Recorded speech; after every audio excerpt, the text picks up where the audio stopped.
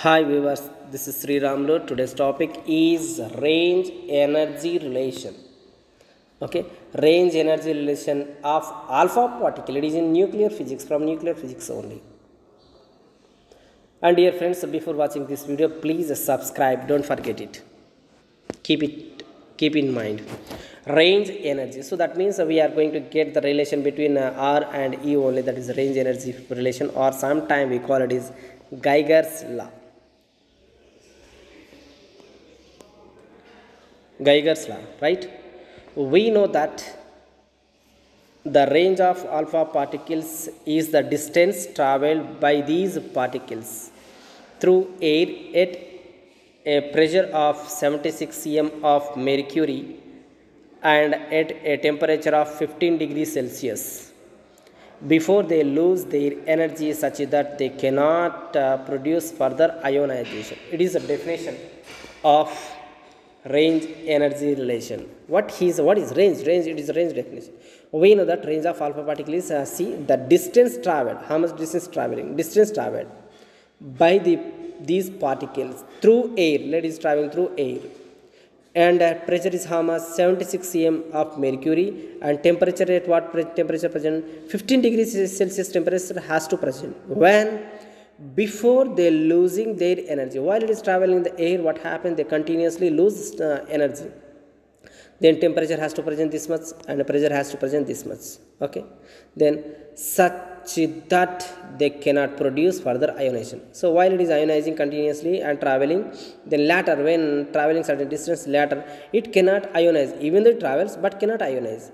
The distance from where it started to ionize the particles to uh, lose their energy completely that distance is called range. And at what temperature 76 pressure temperature must be present at 15 degrees celsius. The range of alpha particle depends upon the initial velocity of alpha particle and the nature of emitting radioactive element and the nature and pressure of gas nature of gas and pressure of gas or nature of absorber also. See alpha particle range depending upon three factors. First factor is initial velocity. If it is traveling with high speed high velocity then it, it has high range. It is traveling lower speed it travel it has low range. So that means range depends upon its velocity. And nature of the emitting radioactive substance nature okay? How it is emitting whether it is emitting uh, with a high energy particle or low energy particle next. And the nature of the gas and pressure of the gas.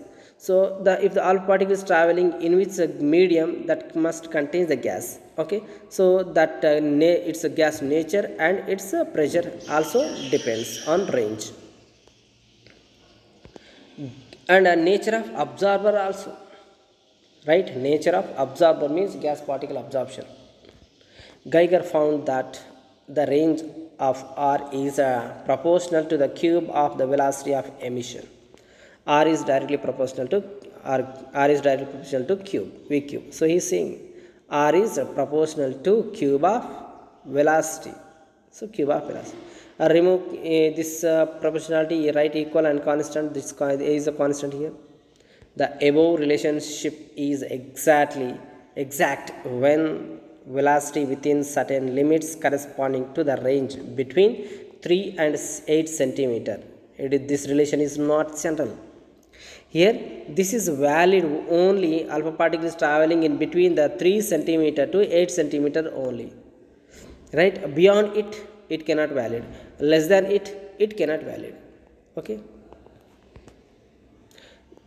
But so that is it is not general equation when the velocity is lower than the above limits okay above limits then what happens? R is directly proportional to v power 3 by 2 for higher velocities r is directly proportional to v power 4 okay for lower velocity this for higher velocity this for average velocity this is. Uh, we know that energy of we know that the energy E of emitted particle is directly proportional to square of the velocity. So that means some particle has to move. Moving means has kinetic energy E only. That total energy is E half mv square. So that is from equation. So equation 2. So equation 2 is like this and it is written as uh, in this manner v is equals to v square is equals to and from this finally v is equals to okay let it is equation 3 substitute equation 3 in equation 1 what is equation 1 this is equation 1 in the place of v substitute this one. So when we substitute then what we get? We get this one only. Okay if you substitute here then we get this one. And uh, take outside except e uh, take remaining this side. So this uh, factor is simply replaced by one constant as a b. And c r is equals to uh, b e power 3 by 2 so this is r means energy r means range e means energy. So that is why it is called range energy relation or geiger's law. Okay friends